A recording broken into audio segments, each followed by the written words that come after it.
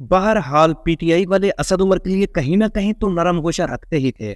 मगर असद उमर ने काशिफ अब्बासी के प्रोग्राम में जो कुछ कहा, उसके बाद पीटीआई वर्कर में शदीद गमो गुस्सा पाया जाता है।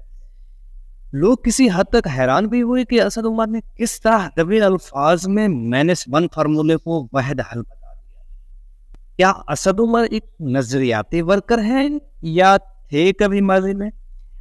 नंबर दो, अभी तक नोमाई चार्जशीट यक तरफा है। क्या असद उमर इस वक्त पीटीआई का हिस्सा है, या फिर वो अपने प्रेस कॉन्फ्रेंस के बाद अलहदा हो चुके हैं?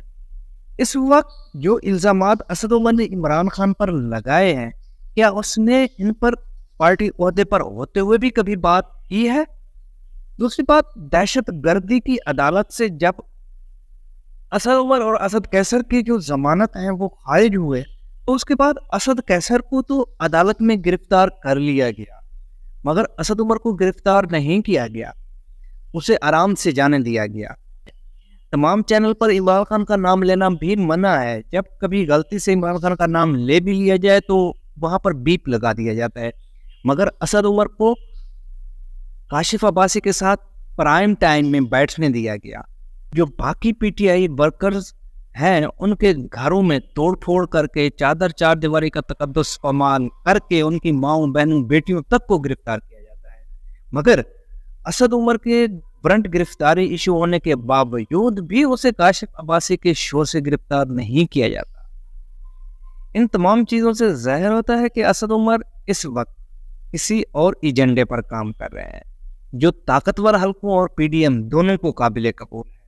और इसलिए इस पर दस्त शफकत है। अब देखें कि असद उमर किस हद तक मैनस वन फार्मूले पे अमल दरामद करवाने में कामयाब होते हैं, क्या वो इमरान खान के वोट बैंक को तोड़ने में कामयाब होते हैं?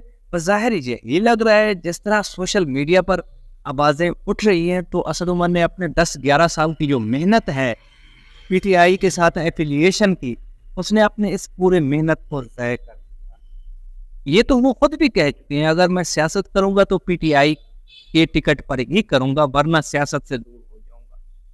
जो उसने बातें की हैं तो उससे बेहतर यही था कि वो सियासत से दूर हो जाते। इस वक्त मुझे इजाज़त दीजिएगा। थैंक यू अल्लाह हाफिज़